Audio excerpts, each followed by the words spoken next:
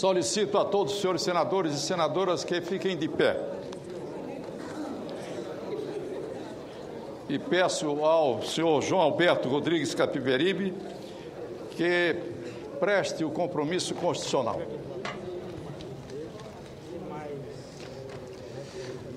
Prometo guardar a Constituição Federal e as leis do país, desempenhar fiel e lealmente o mandato de senador que o povo me conferiu e sustentar a união, a integridade e a independência do Brasil.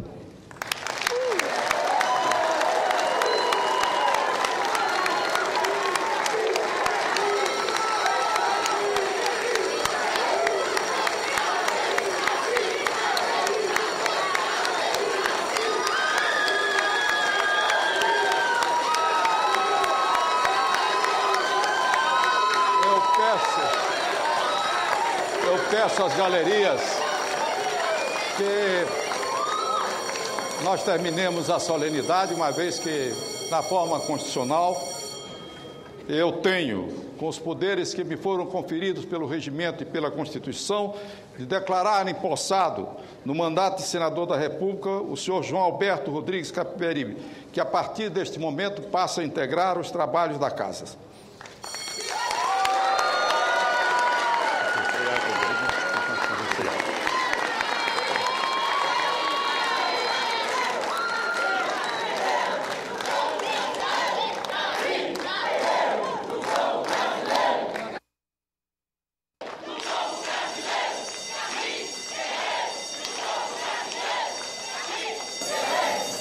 Há, há sobre a mesa, há sobre a mesa comunicação de filiação partidária e nome parlamentar, que peço